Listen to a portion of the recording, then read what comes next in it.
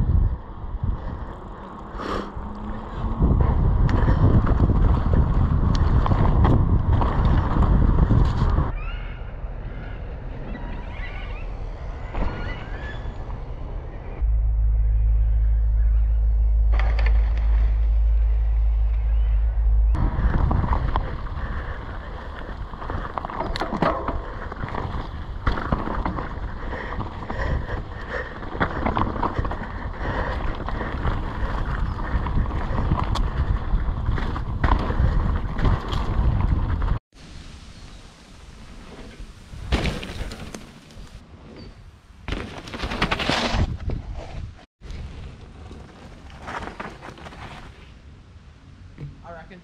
What do you think?